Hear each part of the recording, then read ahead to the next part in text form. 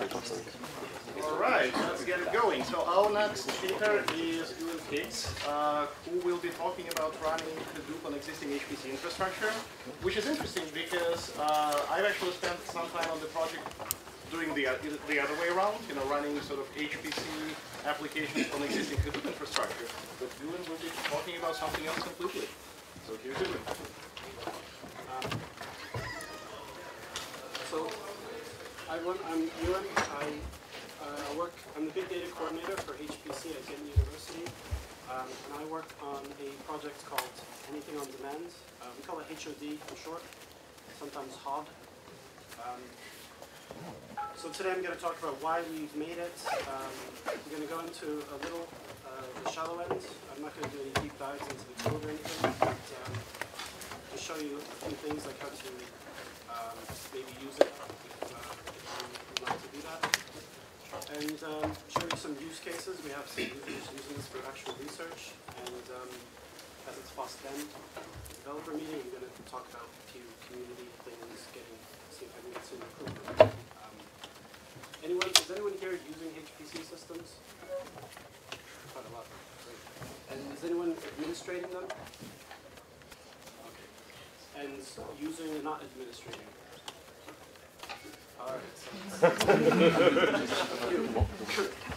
All right. So, um, so for the HPC administrators, this could be a, a really useful tool for you guys if you've got um, a lot of people in your organization that are using uh, uh, HPC stuff, VASP, GROMACS, Quantum Espresso, blah, blah, blah. Um, but then you get a few users like us uh, who say, I really want to use Hadoop. Why don't you just build a Hadoop cluster? Because, you know, new cluster maybe every year or so. Um, let's, uh, let's go in that direction because everyone's doing that. And uh, so we've made anything on demand. The code is on GitHub. You can take a look. We have uh, quite a bit of documentation, which I think is uh, really good. Uh, Kenneth helped me with uh, writing that and getting documentation so even undergrads could, uh, could follow it, or graduate students at least. Um, so the basic overview is to create a cluster, you're on your uh, HPC system, instead of QSub or CSub or MSub or whichever you use, you use uh, HOD create after you've loaded the HOD module, if you're using a module system. Um, you can then, uh, once it's been created or it goes to the queue and then it spawns, uh, you can connect to it like any Hadoop cluster, and then from there you can use um, Yarn, Jar, job submission system. Um, if you have a very long queue and you don't want to wait around for the job to start, you can do interactive analysis, you can do HOD batch, um, which you can use a script and it just sets it and it runs like uh, any normal um, queue sub that you would do, uh, except this time you're using Hadoop. Of course, if you have a bunch of uh, Hadoop clusters running at the same time, you would use uh, HOD list. Um, there's quite a few more commands, but these are the ones you probably use every day if you're using it. So the command line is pretty simple. You want a cluster of four nodes, HOD create, give it a label so that you can find it in the future. Um, you tell it which distribution of Hadoop you'd like to use. Uh, for instance, here we've got Cloudera. Once it's running, uh, you just connect, give it the label name that you're going to connect to. If you use Vagrant, like uh, Nicholas was talking about Vagrant, if you use that, um, it's extremely similar to just connect. Um, and then once you're running, uh, you can just run your uh, jobs. Uh, for instance, here's a basic word count.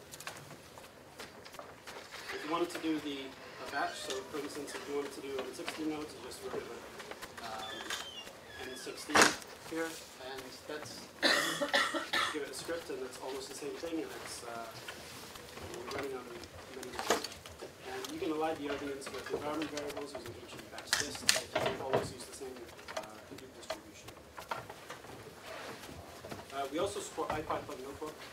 Um, we had a successful classroom activity uh, with some graduate students who were using uh, IPython Notebook to do their analysis. Uh, using systems that uh, had 64 gigabyte memory per node. So uh, to do their machine learning analysis, um, they were able to do this on, um, on our system instead of having to use a laptop or use Amazon uh, or some other cloud system where they'd have to pay because they don't um, really want to have the funding for the graduate students to work that way.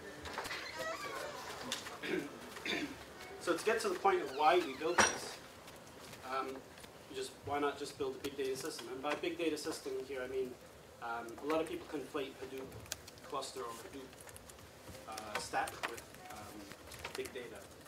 Um, why not just build one of these, or why not just go to the cloud?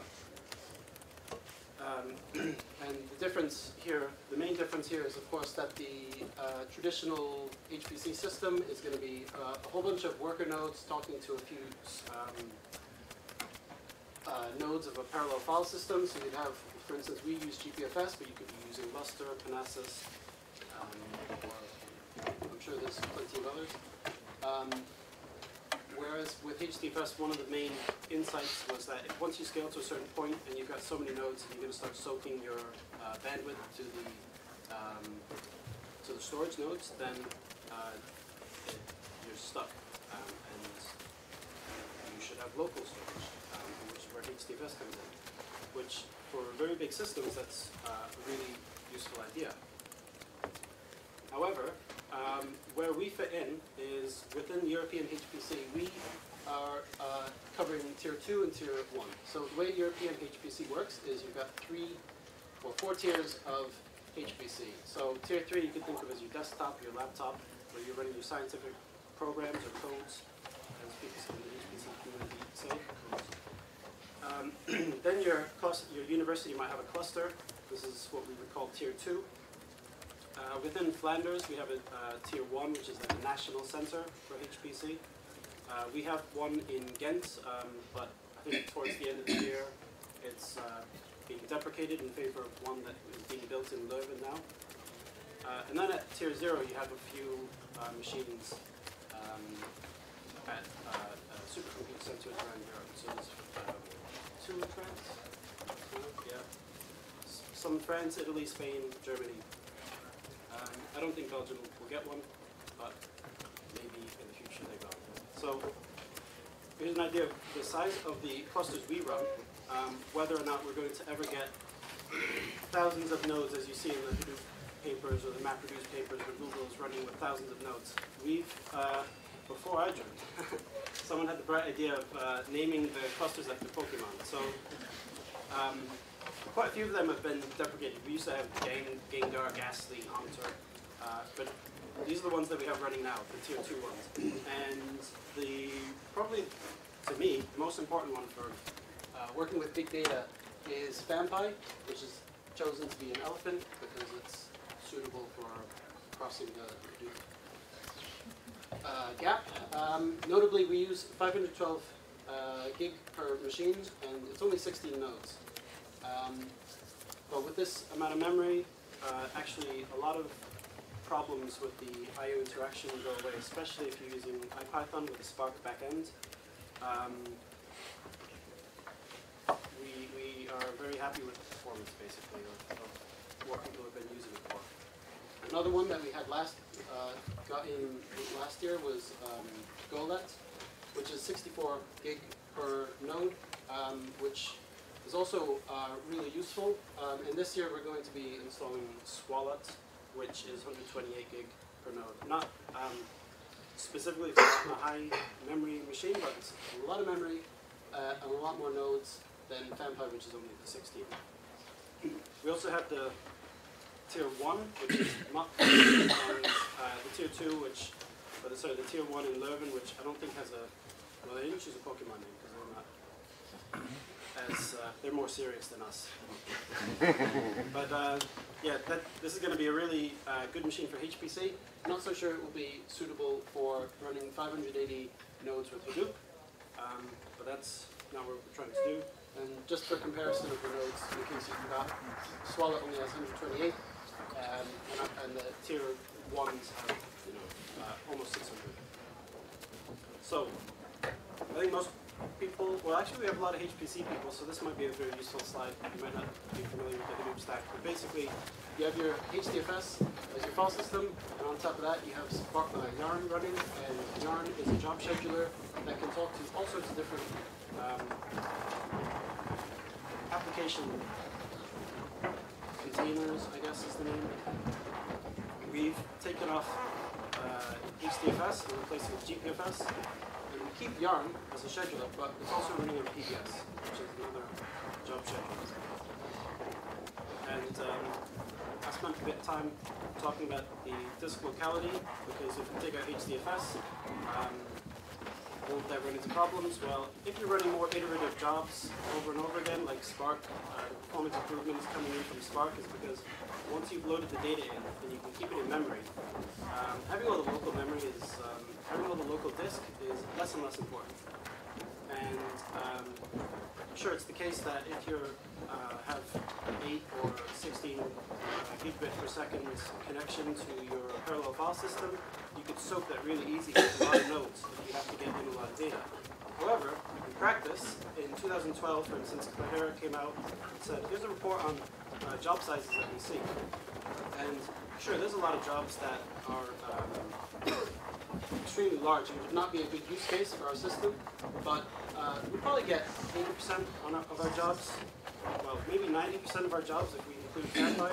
It's not really fair because Phanpy is a very modern machine and this is from 2012 and technology moves that quickly, but uh, these days Phanpy could fit most jobs in a single node anyway. So we really feel that this is some, we, well, when we were working on HED, we really felt that this is a, an approach that can be successful. As long as we understand that there's limitations uh, when we get really, really big. So, um, that's why we built it, and uh, it lets us run uh, Hadoop clusters on uh, HPC. So how does that work? Uh, you're going to be, as a user, you'd be on your laptop, you SSH into a login node, uh, and from there, you submit a job to the cluster. Can you speak up a little bit? Oh, I'm sorry. Is it when I turn around or just? Uh, just in general. I'm sorry. I actually feel like I'm yelling, so.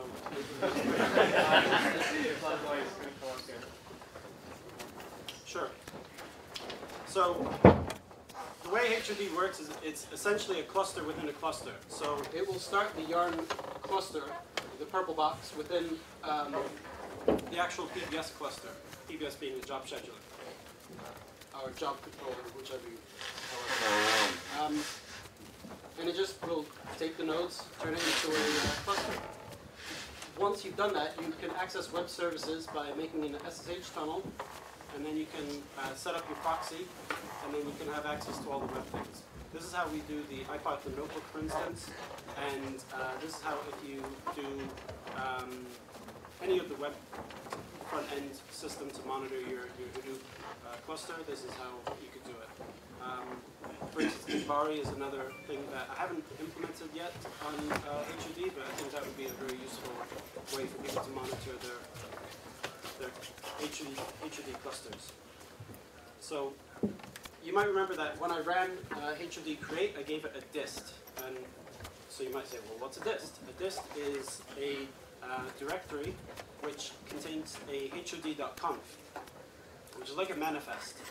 And within that, within there, there's uh, a few other scripts, um, which are configurations. And um, so here is one for IPython Notebook, and we have the hod.conf, which is the manifest, and then we have these other uh, jobs, um, which will be started, and then we have a just a utility script for the IPython Notebook itself. The HDConf um, lets you define some modules. So in this case, we're using is the purple or the pink on black hard to see? No, it's, it's okay. So for instance, here we have IPython 323. Um, this uses native uh, I/O stuff with uh, Intel, and uh, it connects with Python um, 2710. Um, users can clone this uh, and just add in whatever they like, and they, if, if I'm not fast enough in getting IPython 4.1 out, which is available, but I haven't uh, provided a distribution yet, but users could just take this, replace the modules, Um, if it's installed on a system, they could also install it on our system using um, EasyBuild, for instance, is a, a project for installing software for users. Um, you could do that, uh, and you're basically good to go. The nodemanager.conf, for instance, so this is one of the services that comes up. It was inspired by systemd type conf configurations, but I, it's not the same. I wasn't I wasn't dogmatic about it. So uh, so for instance here we do the it uses EasyBuild, so eb root Hadoop, and then it goes to the script and just starts the node manager. Pretty simple. Uh, you can also configure the environment as it runs, and you can tell it if it's going to run on every node or just the master node or the, the various other nodes. Um, and it gives it a name. Pretty straightforward, I hope. Uh, I think users can understand this as well, so if, if you're administrating a system, you could say, well, you can update it yourself if you really uh, need to. Well, what you might have noticed, uh, especially when you think about Nicholas's talk, I didn't see where he went, but um, there he is. Uh, I haven't put in any of the Hadoop um, configuration things, so I, but obviously the defaults are terrible. well, I have auto-generated content. So this is um, links really well into Nicholas's talk if you guys were here earlier. Uh, I, I went through all the blog posts, I did some profiling, I really need to look at uh, a load job uh, and take a look at this. Uh, I automatically generated configs now. Um, I was a bit trepidatious to put this feature in because I mean, it's an unbounded problem, and I will never get the, everything correct for every job. That's not possible. So if you want, in the HOD conf, all you have to do, instead of using XML, because I refused to put XML in, well, at first I put in XML, but then a colleague convinced me to refuse. Um, well, you just do um, yarn, blah, blah, blah, blah, blah, and you can give it some config overloads, and these will overload. It doesn't use, there's no, nothing complicated, it will just do a straight replacement. Um, it, um, so if you have like one memory overloaded, you really need to look, start getting out your spreadsheet and configure all the other memory systems as well. Um, and I'm going to speed up. But it, under, it understands the Yarn site XML, it understands Spark defaults, so if you give it Spark defaults, instead of using XML, it will use the space delimited, which is um, a detail, and it also understands log4j format. You need to control the logging. So user stories, we've got a guy uh, in Ghent named Dries de Cap. He uses um, anything on demands to profile. He profiles also on an Intel cluster and also on Amazon Web Services.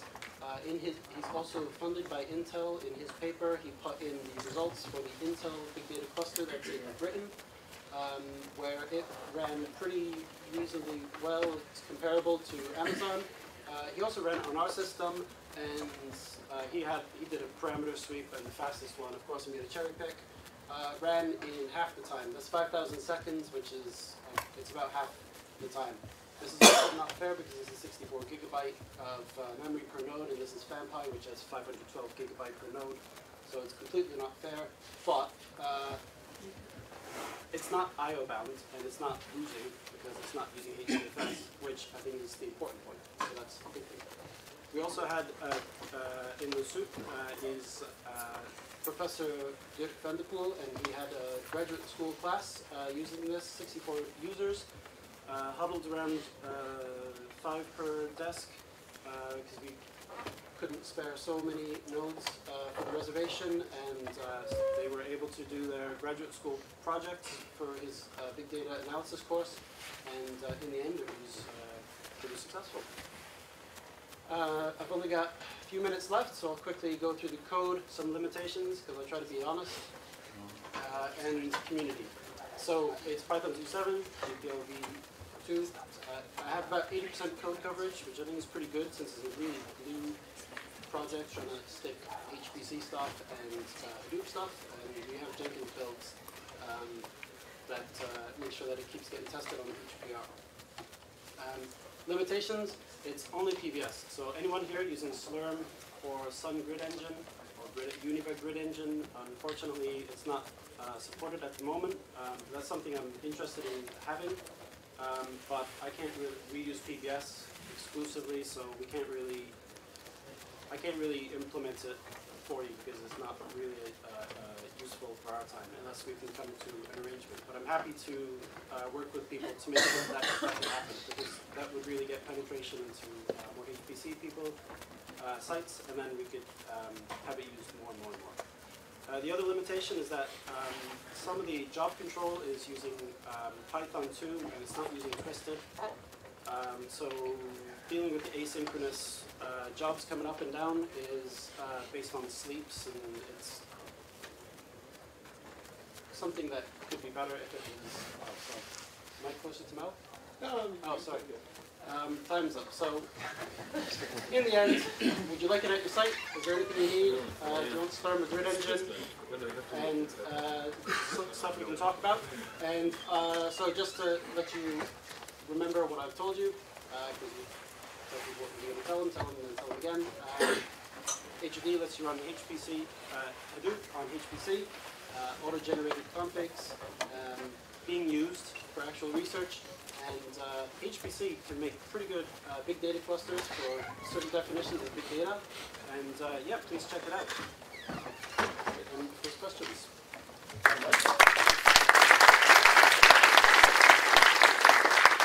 Any questions? Um, did I understand correctly that you throw away the HDFS and replace it with G- GPFS? Yes. Okay, so you have no problem with uh, InfiniBand anymore? Well, this is an interesting topic. So as Nicholas mentioned, Ohio State has a version of Hadoop that uses RDMA uh, for the fetcher. Um, Seagate released an open source version of Hadoop that takes the fetcher and just uses symlinks, well not symlinks, hard links in the file system anyway. So the fetcher doesn't have to do anything, um, which is nice, but they're a bit touchy. And IBM also has something for GPFS, um, which is an adapter, and I've tested this, but it's also very flaky. So I want, and it's available as a distribution in HOD, but it, it looked like I've not answered the correct question. My question is a little bit different. Um, uh, normally you have um, need a single interface, IP interface, if you're uh, running an HDFS client. You have only one contact point.